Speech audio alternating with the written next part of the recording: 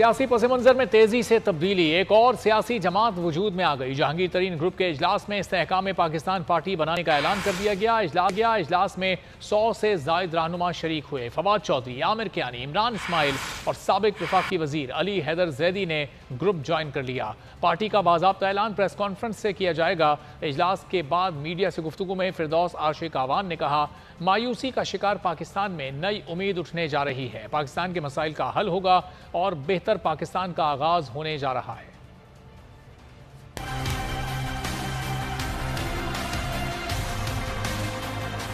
सियासत में हलचल, नई सियासी सफबंदी, तरीन ग्रुप का बड़ा इकदाम, नई पार्टी का ऐलान। जहांगीर तरीन ग्रुप के इजलास में इस्तेकाम पाकिस्तान पार्टी बनाने का ऐलान कर दिया गया। इजलास में सौ से जायद रहनुमा शरीक हुए। जहांगीर तरीन ने अलीम खान के घर अशाइया में नई जमात का ऐलान किया। नई जमात में पी टी आई के सबक और मरकजी रहनुमाओं ने शमूलियत इख्तियार कर ली। फवाद चौधरी भी नई पार्टी का हिस्सा बन गए। सबक गवर्नर सिंध इमरान इसमाइल और सबक वफाकी वज़ीर अली हैदर जैदी भी जहांगीर तरीन के साथ आ मिले। सबक वफाकी वज़ीर आमिर कियानी और सबक वफाकी वज़ीर फरदौस आशिक अबान ने भी नई जमात ज्वाइन कर ली। महमूद मौलवी, सबक सूबाई वजरा, फयाजुल हसन चौहान और डॉक्टर मुराद रास ने इस्तेकाम पाकिस्तान पार्टी में शमूलियत इख्तियार कर ली। रहमान लंगड़ियाल और नौरेज शकूर भी नई जमात में शामिल हो गए। इशाइये में ओन चौधरी समेत दीगर रहनुमा भी शरीक हुए। इजलास के बाद मीडिया से गुफ्तु में फिरदौस आशिक अबान ने कहा की पाकिस्तान को मुश्किल से निकाल कर इस्तेकाम की तरफ़ ले जाना है। इसकी आज ईंट रख दी गई है। मुल्क महँगाई और बेरोजगारी की वजह से पीछे जा रहा है। ऐसी सूरत हाल में एक ऐसी जमात की ज़रूरत थी, जो मुल्क को तरक्की की तरफ़ गामजन करेगी।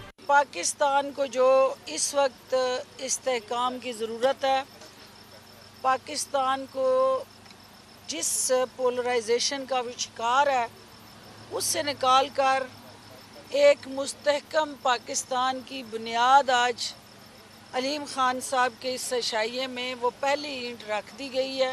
इजलास में सियासी रहनुमाओं का जहांगीर तरीन पर मुकम्मल एतमाद का इजहार पार्टी का बाबा ऐलान आज किया जाएगा।